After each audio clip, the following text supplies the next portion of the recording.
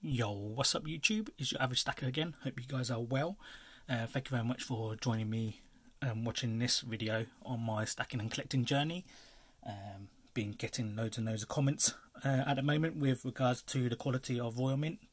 And uh, yeah, so thank you very much for that. And um, yeah, let's unbox an another latest unboxing from the Royal Mint.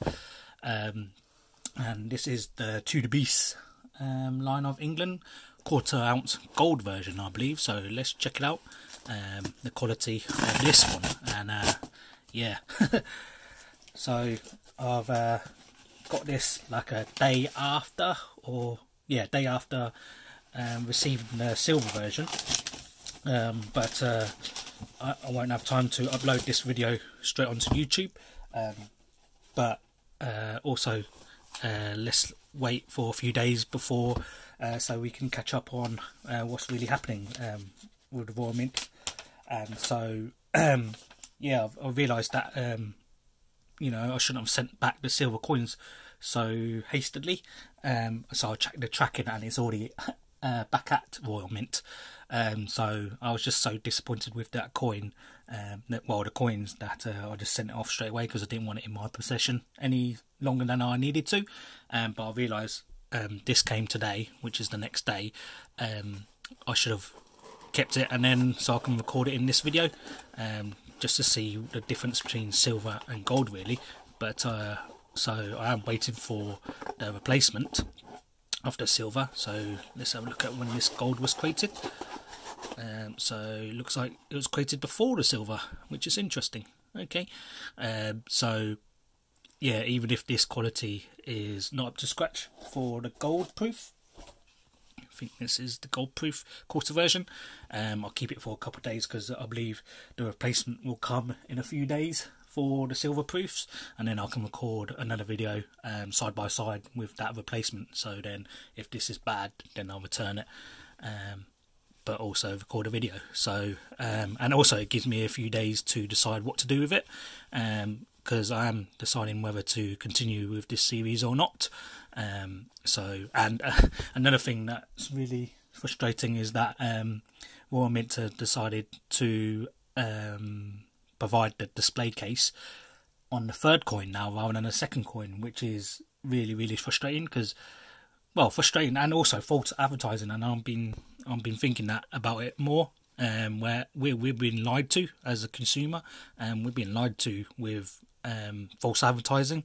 And so um, when I first bought the Seymour Panther, I factored that in to um, buying, making that purchase um, because the display case is worth what 40 50 pounds, I believe, um, which was 50% off the value of uh, the Seymour Panther. And also, obviously, you have to buy the second coin, which is you know makes it 25% off the value of both coins. Um, if it's worth like 40 50 pounds that display case. So i was factoring that in. So now they push the can well push the display case to the third coin which is really frustrating. And um, you know i don't know whether you know uh, if it was me again re- uh, purchasing again i wouldn't have purchased it. Um, the seymour panther and uh, lion of england um, and the series. But uh, who knows? That um, i would have still been uh, looking at the coins anyway. But uh, yeah, that's another story. But um, yeah, so quarter ounce proof, Lion of England. Um, get the same booklet, I believe, as the silver. Uh, let's have a quick check. Um, so yeah, Lion of England.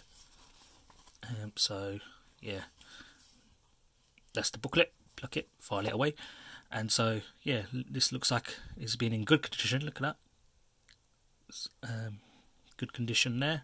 Is uh, doesn't look like uh, anyone's touched it or anything because the you know the packaging looks like it's uh, pristine, good condition. This is what I'm expecting. you know, when you purchase a pristine new brand new coin. Uh, so let's have a look at the quality, the moment of truth, um, see what was good and bad about it, but uh, I'm hoping for the best here because it's gold uh, proof and they've always been better than silver. So let's have a look. Oh, that's good now. Now, they're including these in uh, the packaging, so that's good. Um, that they're including that. So the COA uh, high number, I believe, 0753. I think the mintage was, yep, 1000.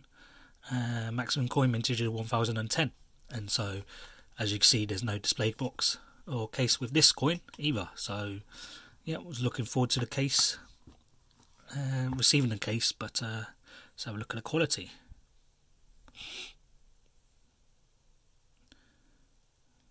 Okay, looks good on camera. And so everything's looking good at the moment on camera, but uh, yep, um, I'm going to pause the video and have a look at it on better lighting and see what flaws or any any flaws that I can see, but nothing at the moment. Um, I'm just looking around there because there was a scratch on the silver around about there.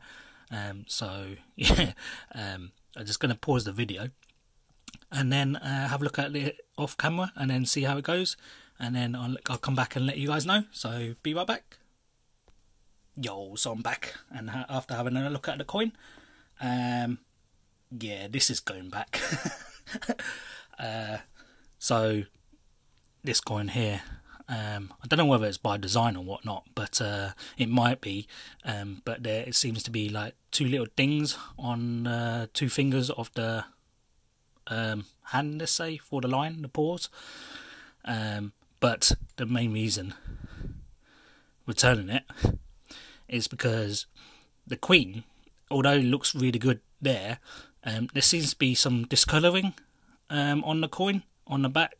Um, I can't explain it, but well, I could try to explain it because I don't think you can see it. I'm not quite sure if you can see that. There's discolouring, like like uh, I don't know if you're looking at a painting uh, let's say, it seems to like be faded as well. The more it goes down to the neck or around there, it seems to be like a some sort of colouring gone wrong. Um, I don't know whether the camera picks it up, but uh, you might be able to see like the colour is not quite defined.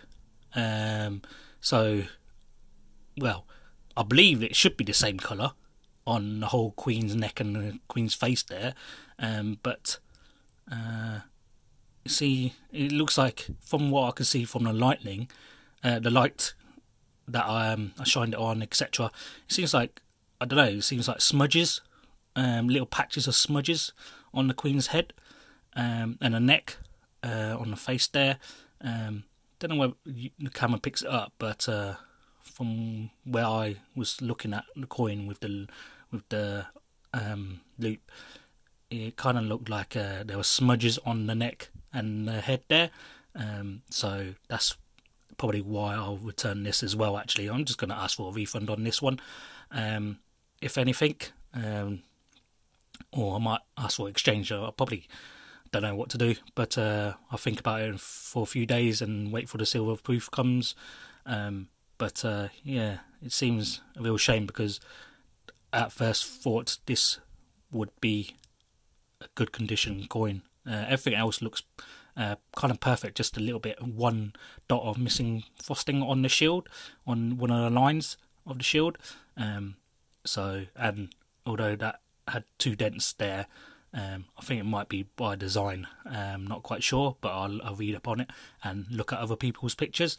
Um, but this, like, different discolor on this coin from the next of the queen, from the neck of the queen and uh, face there. Um, it looks like smudges. Like it did look like fingerprints, but actually the camera might pick up a little bit there. There's little patches of discolor.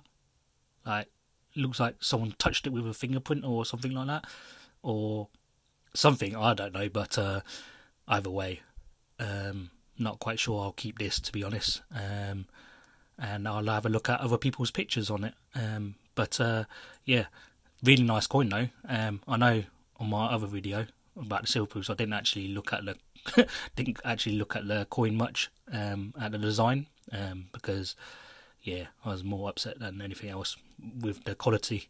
Um, but quality seems a bit better on this gold, uh, apart from the discolouring um, and the smudges. But the design the shield. I really like the shield. More detail in the shield compared to the panther and uh, lion there as well. I think the lion could have been more bulkier, let's say. Um, it's a bit too skinny for my liking, but uh, I still like the design. Um, the text around it, uh, Lion of England, and then the crown obviously goes in the middle of the text there. Um, kind of like that because I know the bullion one um, is a little bit of a different design, although the Lion should be the same. Uh, the Queen obviously looks good at the back there, as always. um, the Queen. So, yeah, that's the story of this coin, um, which is uh, interesting. Now I'm gonna have a think of what to do and research if there like actually problems with this coin. Um, so high COA there, and yeah, not quite sure I'm to keep this with this and also keep going on with this series. So uh, let me know what you guys do and whether you you think this design is better than the silver. Um, this design does look good. Well, this gold quarter ounce proof. Um, obviously, the one ounce proof will be a lot better. But uh, at the moment, this is the quarter ounce, and yeah, this is what I'm um, going through at the moment. Uh, thank you very much for joining me on my journey and letting me know um, about my experience and your experience. So thank you very much for that, and hopefully I'll be able to see you in the next one. Cheers. Thanks. Bye.